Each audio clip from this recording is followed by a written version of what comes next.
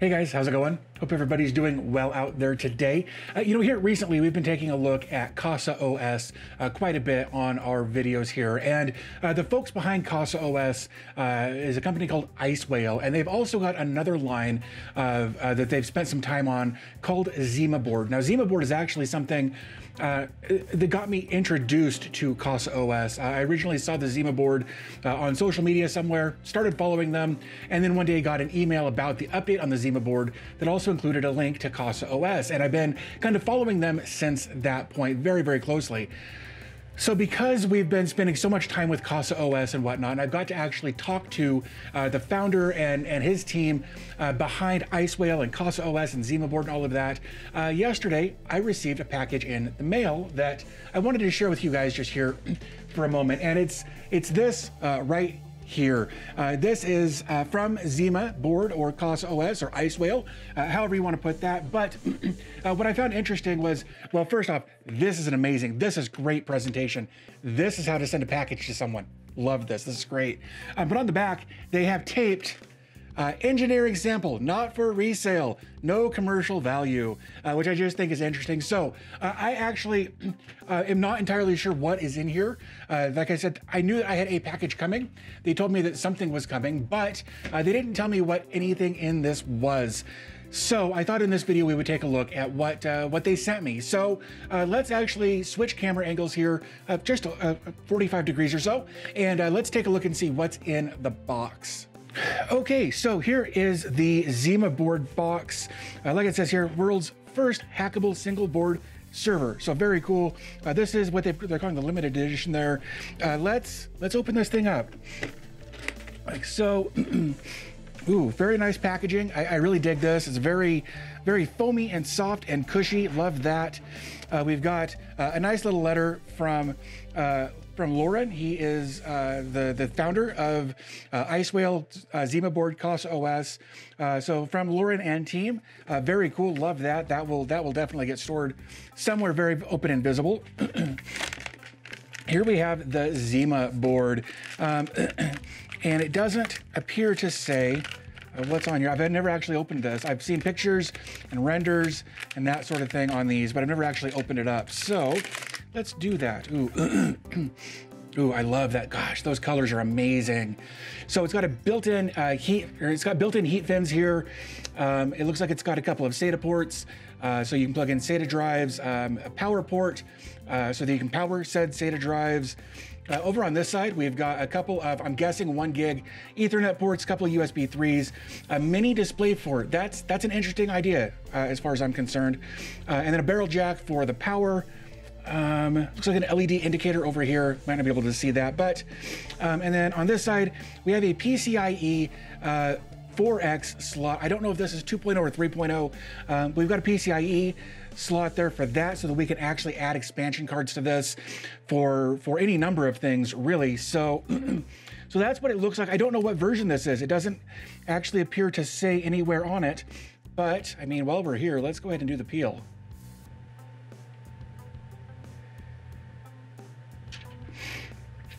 All right.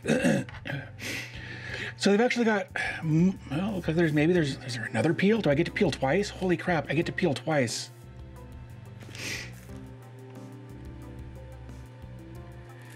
Ah, uh, there we go. Um, so there are, ooh, this is kind of translucent, which I'm sure you can't see. This is a little bit translucent. It's uh, some plexiglass, looks like three layers of plexiglass there for the bottom. God, that looks so, so good. Anyway, let's let's keep moving here. So let's lift off this. Oh, ooh, all right. So we've got a Kioxia. Oh, we got a little sticker there. That, that's fun. Uh, little so we got a Kioxia 480 gig SATA SSD.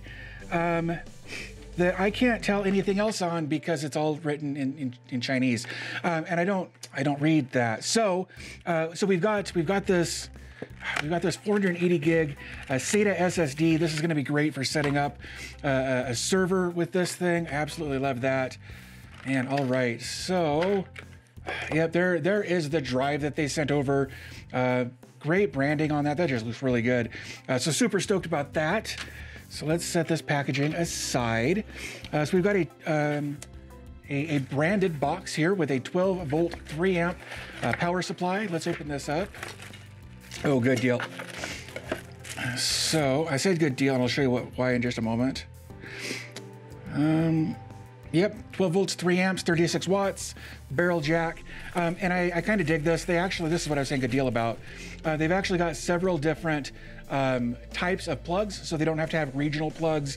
They can just kind of package it all as one and, uh, and be good with that. So again, let's set that stuff aside. So that is that. oh, let's see. It looks like, okay, so here is a, a SATA uh, power and data cable. So this is what will plug into the board. This end will, that end will drive or plug into uh, to the drive, and that's how we're going to get power and data to our hard drive. Um, um, so we've got,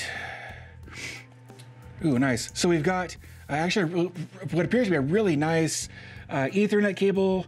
Um, I don't know, probably Cat 5e or Cat 6. I don't actually see on here where it says but anyway, it looks like probably three feet long uh, for that cable.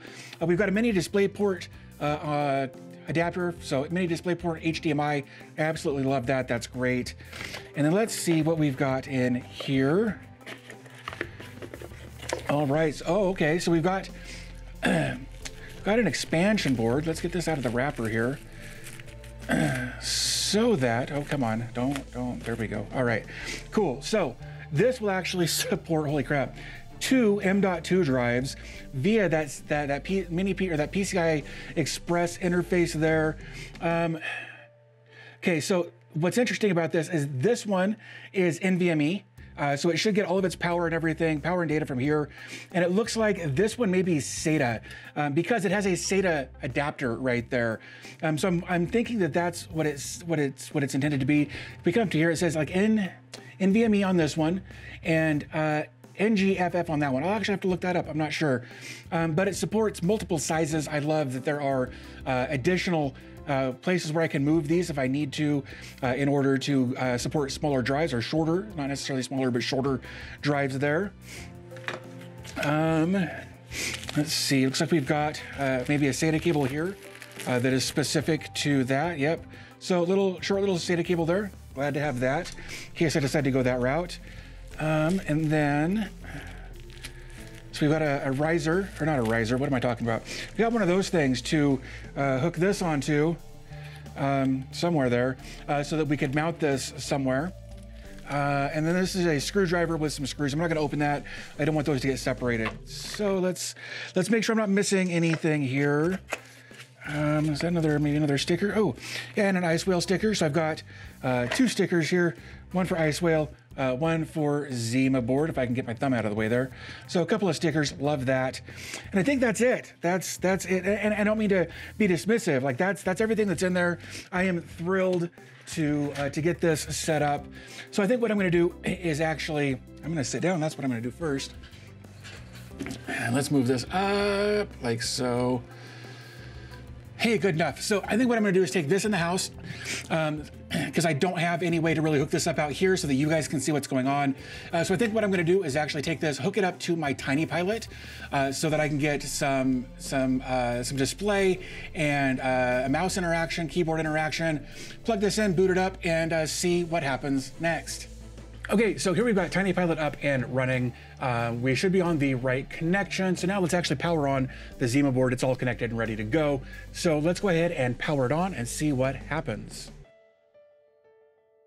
All right, so I'm getting some light. I don't have the camera in here, unfortunately, but we're getting some lights flickering over here on the side. Uh, we've got some activity on the uh, network cable here. All right, so we're not So it may, it may, okay, it looks like it had to do a reboot. Uh, so now I'm wondering if I'm even on the right screen here. Oh, I wonder. There it goes. I didn't have it plugged in far enough. Darn it. All right, well then. So it looks like it starts with Debian 11 with Casa OS. That's interesting. Man, missed all of that boot up stuff because I didn't plug it in or plug in the display port quite far enough. So that, all right, let's click uh, here. Ooh, that's interesting. Um, Maybe. Let's see. Um,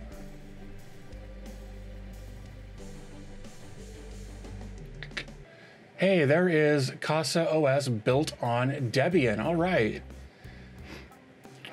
Um, so I, I honestly, I didn't know what the password was, and I just typed in Casa OS, and it brought me here. So, uh, so that seems to to have been correct.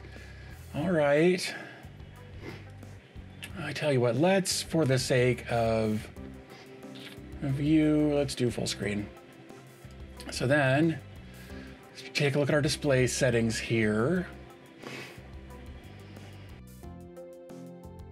Um, so it looks like it took us down. Oh, we can do, let's do 30. 30 frames per second should be fine. Maybe. Yeah, all right, keep changes. Cool, so so this comes as as we see here. Um, let's, what is this? What is that? Not that. Let's click that and see what we get.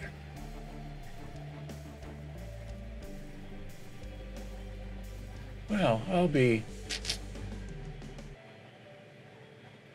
All right, so so it's got Casa OS based on Debian for the desktop, and it's got Casa OS, uh, the, the Docker management system built into it. So that's cool.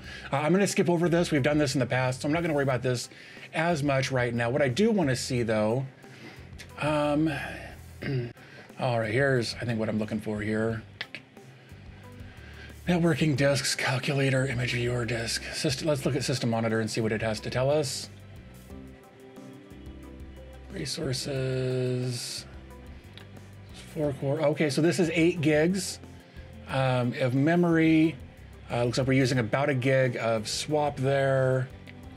All right, so this is the 8 gig model. So that tells me that this should also be uh, the 32 core, or 32 core, uh, 8 gigs with 32, or 8 gigs of RAM with 32 gigs of hard drive space. Um, Yep, so this is the uh, 32 gig version, so 8 gigs of RAM, 32 gigs of hard drive space. We've also got that 480 gig uh, Kioxia uh, Exceria uh, SATA SSD, that SSD rather, that 480 gig drive there. So now, now that we've taken a look at this, let's figure out.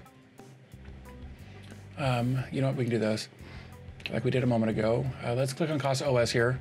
All right, so we've got our IP address right here. So let's actually close this out. And I'm gonna do 192.168.1.109, like so, and there we go. Um, all right, so now, now we are actually, we're not doing it through this third-party interface of TinyPilot.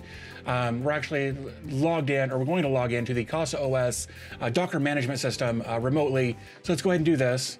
And let's see if they've got anything pre-built. Oh, they do have some stuff pre-built or pre pre-set up in here. Uh, we've got our file browser.